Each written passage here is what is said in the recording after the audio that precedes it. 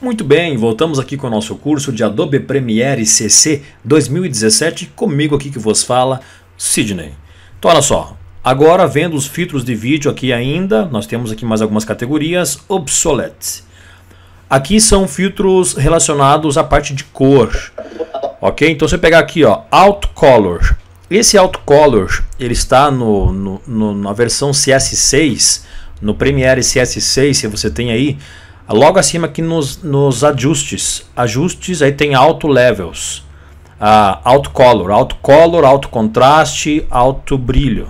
Aqui nós temos ó, auto levels, auto contrastes e auto colors. Então veio parar aqui para a pastinha obsolete, que eu não considero que seja obsoleto. Tá? Eu acho bem interessante esse recurso. Eu acho bem interessante esse recurso. Então a gente pegar, por exemplo, aqui, eu vou pegar um vídeo, vídeo Uh, e eu colocar aqui, vou colocar o meu vídeo para não ter problema aqui, que minha colega não gosta muito de aparecer.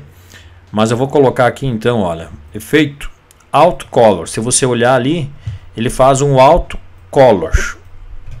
Vamos pegar então o da Lise para ver que ele está mais coloridinho. Uh, vamos ver aqui, ó, Color. Na verdade, esse vídeo aqui já está lindo pra caramba, né, cara? A cor desse vídeo está show, tá bem regulado. Mas se você dá um Auto Color, ele faz um ajuste de cor automático, olha só. Sem o filtro, com o filtro. Consegue ver? Então ele deu uma melhorada. Aí nós temos o alto contraste. Então ele dá, faz uma nivelada de contraste também. Deixa eu descer aqui, ó. nós temos agora dois filtros. Olha lá, ó. sem o filtro, com o filtro. E temos o alto levels. Levels são os níveis, os níveis de cor. Ó, ele também fez Aqui já não precisou fazer nada, tá? Ele não, se ele não deu resultado é porque pro Premiere está ok essa imagem. Então esses três eu uso bastante. Eu trabalho também com Premiere CS6. Qualquer cena que eu arraste para cá, para timeline, eu sempre coloco o Auto Levels e Auto Colors. O Auto Contraste só se eu ver se realmente está muito claro ou muito escura a cena. Mas é essa a finalidade disso aqui, ok? Aí nós temos aqui, olha, Fast Blur. Então, o recurso de blur, que nós temos lá em cima apenas um filtro só de blur, ok? Que você já sabe como é que funciona. Fast é rápido, é um blur rápido, então você consegue deixar, digamos assim. Lembra que eu te mostrei como desfocar o rosto da pessoa, se você não quer? Então você também pode fazer por aqui. Você pode criar aqui uma máscara, né? Ó, nós temos aqui a caneta. Então, Nesse caso, nós teríamos que fazer o que? Nesse caso, como já falei para você, nós teríamos que, deixa eu marcar a camada superior aqui, para colar aqui uma cópia. Então a gente colocaria o Fast Blur nessa camada, e aqui dentro nós anectar aqui o Fast Blur, aqui ó, Fast, oh cara, tem duas vezes Fast Blur. E aqui então eu recorto com a caneta apenas essa parte aqui por exemplo, e aí eu vou colocar o que? Um Fast Blur apenas no rosto, olha lá. Aí eu dou um Soft Mask Fader, Mask Feeder, ok? Para aparecer ou não, e aí está, ó. Então vamos deixar um pouquinho mais de faders. Onde é que tá? Ah, onde é que tá? Onde é que tá? Onde é que tá? Que tá? Aqui. Mask Feeders. Olha lá. Olha lá, perfeito. Vendo, ó? Então isso aqui no Fast Blur. Então você pode colocar um blurzinho ou não para desfocar. Muito bem, aí nós temos aqui o outro recurso é o Fast Collector uh, Color Correction, então que é a correção de cor rápida. Ó, Auto Color, deixa eu tirar o Auto Color embora e vou tirar o Fast Blur. Olha só, então aqui nós temos, olha, uma correção rápida de cor.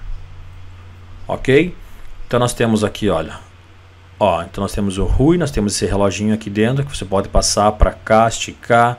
É muito fácil você trabalhar com esses recursos de cor, porque basta você arrastar aqui que ele já vai te dar um resultado, certo? Ó, ok? Aqui é a intensidade e aqui você escolhe a direção da cor para você ver que tom você quer. Eu quero um tom mais, uh, sei lá, mais quente aqui, olha. Olha lá, ah, mas como assim? Aqui, ó, rosa. Ok? Então, mais verde, mais laranja. E aqui embaixo nós temos as propriedades, ó, tanto de ângulo, como de balanço de magnitude, como de balanço de ganho, como de balanço de ângulo, certo? Aí nós temos a saturação dessas cores e você pode mexer aqui, então alto black level, alto contraste level, alto branco level. Aí nós temos a entrada de preto, a entrada aqui de, de, de, de sombras, a entrada de branco, a saída de preto. Então é um filtro de alto colors. Fast Color Correction, para você fazer uma correção rápida de cor. Aí nós temos o Luma, Co Luma Correctors. Aqui é tudo relacionado à cor, tá? Nós já vimos alguns filtros para cima aí, então alguns são bem parecidos. Olha que legal esse filtro aqui, ó. Parece um efeito de, efeito de cinema. Deixa um pouco mais carregado a cor, né? Eu acho bem interessante.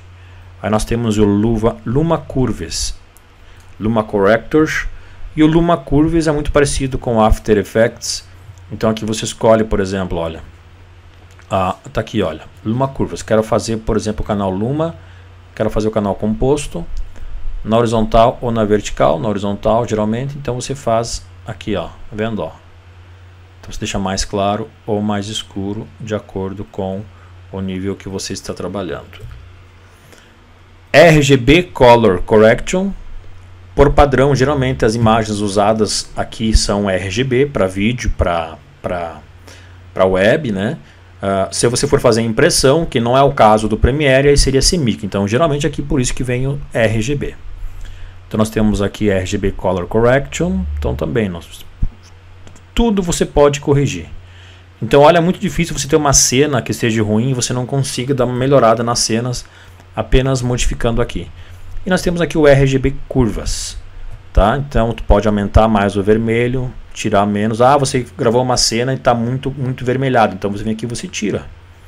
Ah, você gravou uma cena que ela está muito azul, então você tira um pouco do azul, então você consegue nivelando, olha. Mais verde, menos verde, mais vermelho, menos vermelho. E aqui é só brilho e contraste. OK? RGB curvas. Curvas nós temos sombras e highlights, que são as sombras e highlights. Olha só a diferença já aqui, ó. Ok? Então você pode suavizar, modificar aqui. Automons. Nesse caso não precisou muito, porque a cena está legal. E temos o Three-Way Color Correction, que eu acho bem legal também, que ele traz aqui, olha, uns reloginhos, um painelzinho bem louco, ó.